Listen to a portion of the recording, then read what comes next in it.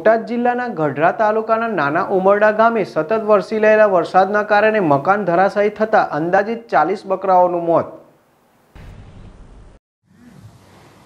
બોટાદ જિલ્લાના ગઢડા તાલુકાના નાના ઉમરડા ગામે છેલ્લા એક મહિનાથી સતત વરસી રહેલા વરસાદના કારણે ગાંડાભાઈ ભીમભાઈ સિંઘવનું મકાન ધરાશાયી થતા અંદાજિત ચાલીસ જેટલા બકરા દબાઈ જતા મૃત્યુ પામ્યા, જેમાં અંદાજિત બે લાખનું નુકસાન થયું છે.